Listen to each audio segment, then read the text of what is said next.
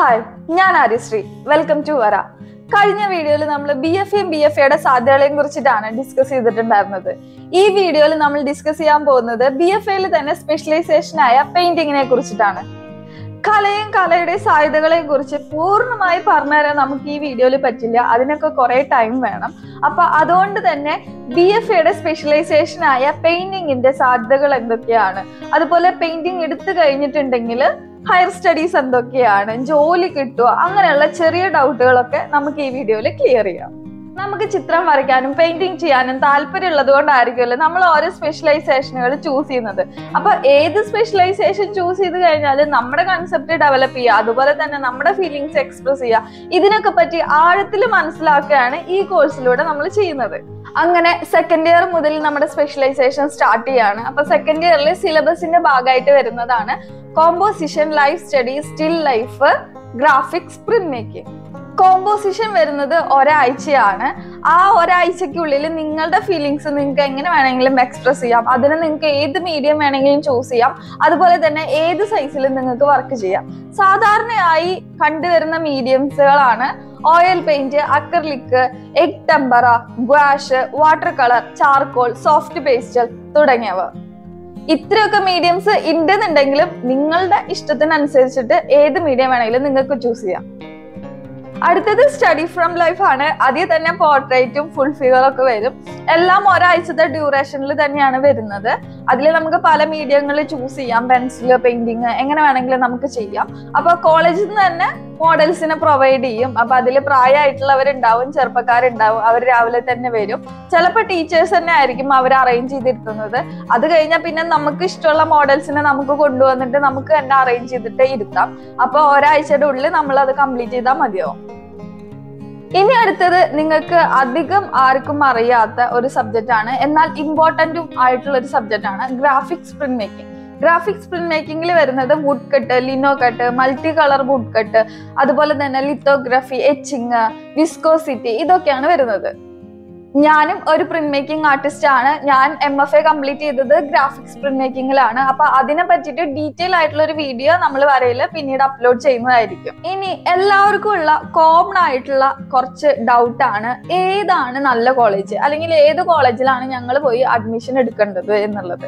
അപ്പോൾ നമ്മൾ എപ്പോഴും കോളേജ് ചൂസ് ചെയ്യുമ്പോൾ അവിടുത്തെ ടീച്ചേഴ്സിനെ പറ്റി അതുപോലെ തന്നെ അവിടെ വരുന്ന വിസിറ്റിംഗ് ഫാക്കൽറ്റീസിനെ പറ്റി പിന്നെ കോളേജിലെ പ്രോഗ്രാം അതുപോലെ തന്നെ അവിടുത്തെ ലാസ്റ്റ് ഇയർ പഠിച്ചിറങ്ങിയിട്ടുള്ള സീനിയർ ബാച്ചിന്റെ ക്വാളിറ്റി അതുപോലെ അവിടെ നടക്കുന്ന എല്ലാ വർഷവും നടക്കുന്ന ഡിഗ്രി ഷോ ഇതൊക്കെ നമ്മൾ നോക്കിയിട്ട് വേണം നമ്മൾ ഏത് കോളേജിലാണ് പഠിക്കേണ്ടതെന്നുള്ളത് നമ്മൾ സെലക്ട് ചെയ്യാൻ വേണ്ടിയിട്ട്.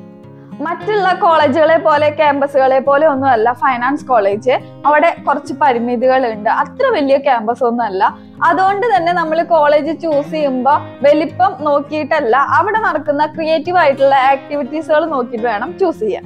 നമുക്ക് ചെറുപ്പം മുതലേ വരയ്ക്കാൻ താല്പര്യമുള്ളത് കൊണ്ട് തന്നെ പലരും പല ഡ്രോയിങ് ക്ലാസ്സുകളിലും ഇൻസ്റ്റിറ്റ്യൂഷനിലും പോയി പഠിച്ചിട്ടുണ്ടാവും. അപ്പൊ അവിടെയുള്ള ചില പഴഞ്ചൻ ചിന്താഗതിയുള്ള ടീച്ചേഴ്സ് പറയുന്ന കാര്യമാണ് വാട്ടർ കളറിൽ ബ്ലാക്കും വൈറ്റും ഉപയോഗിക്കാൻ പാടില്ല അങ്ങനെ ചെയ്യാൻ പാടില്ല ഇങ്ങനെ ചെയ്യാൻ പാടില്ല എന്നുള്ളതൊക്കെ.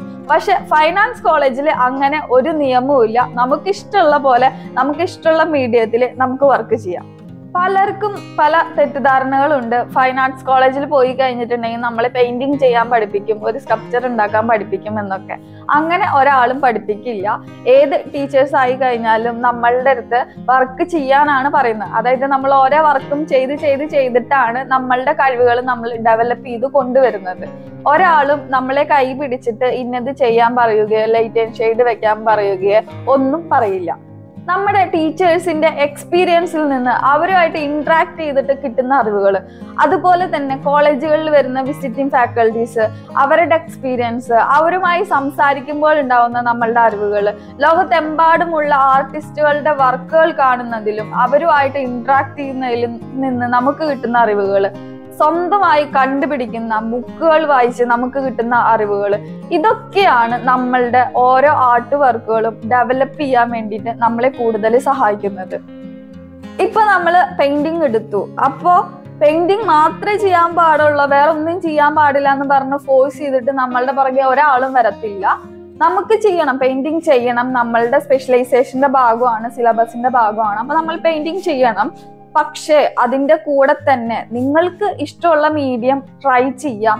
നിങ്ങളുടെ കൺസെപ്റ്റ് ആ ഒരു മീഡിയത്തിലോട്ട് നിങ്ങൾക്ക് കൺവേർട്ട് ചെയ്യാനും പറ്റും. ഫോർ എക്സാമ്പിൾ പറയുകയാണെങ്കിൽ performance art site specific art video art audio art photography digital art new medias sculpture ceramic textile ഇതിലൊക്കെ നിങ്ങൾക്ക് വർക്ക് ചെയ്യാം.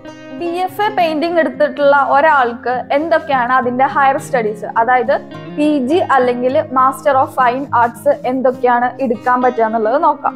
പെയിന്റിംഗ് എടുത്ത ആൾക്ക് പെയിന്റിങ്ങിന്റെ തന്നെ മാസ്റ്റേഴ്സ് ചെയ്യാം. അതുപോലെ തന്നെ graphics print making textile mural painting എന്നീ സബ്ജക്റ്റുകളാണ് ചെയ്യാൻ പറ്റുന്നത്. ഇനി അതുപോലെ തന്നെ മ്യൂസിയോളജി എടുക്കാം. അതുപോലെ തന്നെ ആർട്ട് ഹിസ്റ്ററി എടുക്കാം. ആർട്ട് ഹിസ്റ്ററി എടുക്കുകയാണെങ്കിൽ ഒരു വർഷത്തെ ബ്രിഡ്ജ് കോഴ്സ് നിങ്ങൾ എക്സ്ട്രാ ചെയ്യേണ്ടി വരും. ബി എഫ് എ ഇപ്പൊ പെയിന്റിംഗ് എടുത്തു. അത് കഴിഞ്ഞിട്ട് എം എഫ് എനിക്ക് സെറാമിക് വേണം അല്ലെങ്കിൽ സ്കൾപ്ചർ വേണം എന്നുള്ളവരാണെന്നുണ്ടെങ്കിൽ നിങ്ങൾക്ക് അത് എടുക്കാം. നിങ്ങളുടെ കയ്യിൽ ഏത് മീഡിയ ആണോ വേണ്ടതെന്നുണ്ടെങ്കിൽ ആ മീഡിയത്തിന്റെ കുറച്ച് വർക്കുകൾ ഉണ്ടായി കഴിഞ്ഞിട്ടുണ്ടെങ്കിൽ മാസ്റ്റേഴ്സിന്റെ എക്സാമിന്റെ സമയത്ത് നമ്മൾ അത് സബ്മിറ്റ് ചെയ്ത് നമ്മൾ എലിജിബിൾ ആണ് എന്നുണ്ടെങ്കിൽ നമുക്ക് ആ മീഡിയം ചൂസ് ചെയ്യാം. ഇനി നിങ്ങൾ ബി എഫ് എ ഡിഗ്രി ആണ് എടുത്തിട്ടുള്ളതെന്നുണ്ടെങ്കിലും പി ജിക്ക് നിങ്ങൾക്ക് എൻ ഐ ഡി പോലുള്ള സ്ഥാപനങ്ങളിൽ ഡിസൈൻ ബേസ് ചെയ്തിട്ടുള്ള ഹയർ സ്റ്റഡീസും ചെയ്യാം. നമ്മൾ മെയിൻ ആയിട്ടും ബി എഫ് എ സെലക്ട് ചെയ്യുന്നത് എന്തിനാന്ന് വെച്ചിട്ടുണ്ടെങ്കിൽ ആർട്ട് പ്രാക്ടീസ് ചെയ്യുന്ന ഒരു ആർട്ടിസ്റ്റ് ആവാനും അതുപോലെ തന്നെ കലാപ്രവർത്തനങ്ങൾ ചെയ്യാനും ഗാലറി ആർട്ടിസ്റ്റ് ആവാൻ ഫ്രീലാൻസ് ആർട്ടിസ്റ്റ് ആവാനും ഒക്കെ വേണ്ടിയിട്ടാണ്. ഇനി ഫിനാൻഷ്യലി നോക്കുകയാണെന്നുണ്ടെങ്കിൽ അതിനും സാധ്യതകൾ ഏറെയാണ്. ഇനി ബി എഫ് എ കഴിയുമ്പോഴേക്കും പെട്ടെന്നുള്ള ഒരു വരുമാനമാണ് നിങ്ങൾക്ക് വേണ്ടതെന്നുണ്ടെങ്കിൽ ആർട്ട് ടീച്ചേഴ്സ് ആയിട്ട് വർക്ക് ചെയ്യാം. അതുപോലെ തന്നെ പി എസ് സി ടെസ്റ്റ് എഴുതി നിങ്ങൾക്ക് ഗവൺമെന്റ് സ്ഥാപനങ്ങളിൽ ജോലി ചെയ്യാം. ആർക്കൈവിസ്റ്റ് ആയിട്ട് ജോലി ചെയ്യാം. അസിസ്റ്റന്റ് ക്യൂറേറ്റർ ആയിട്ട് ജോലി ചെയ്യാം. ഗാലറി ആർട്ടിസ്റ്റ് ആയിട്ട് നിങ്ങൾക്ക് ജോലി ചെയ്യാം. Art director illustrator game designing animation എന്നീ തുടങ്ങിയ മേഖലകളിലും ജോലി സാധ്യതകൾ ഏറെയാണ്. നിങ്ങൾക്ക് ബി എഫ് എയിൽ ജോയിൻ ചെയ്യണമെന്നുണ്ടെങ്കിൽ ബി എഫ് എ കോഴ്സ് എടുത്ത് പഠിക്കണമെന്ന് ആഗ്രഹമുണ്ടെന്നുണ്ടെങ്കിൽ എനിക്ക് എക്സാമിനെ പറ്റിയിട്ടോ അതുപോലെ തന്നെ അതിന്റെ പ്രൊസീജിയേഴ്സ് ഒന്നും അറിയില്ല എന്താ പഠിക്കേണ്ടതെന്നൊന്നും അറിയില്ല എന്നുള്ളവരാണെന്നുണ്ടെങ്കിൽ Vara art school B F A coaching provide ചെയ്യുന്നുണ്ട്. ഡിസ്ക്രിപ്ഷനിൽ ഞാൻ അതിന്റെ ഡീറ്റെയിൽസ് കൊടുത്തിട്ടുണ്ട്. ഇതുപോലുള്ള ബി എഫ് എയുടെ മറ്റൊരു സ്പെഷ്യലൈസേഷന്റെ വീഡിയോയുമായി കാണുന്നത് വരയ്ക്കും. Bye bye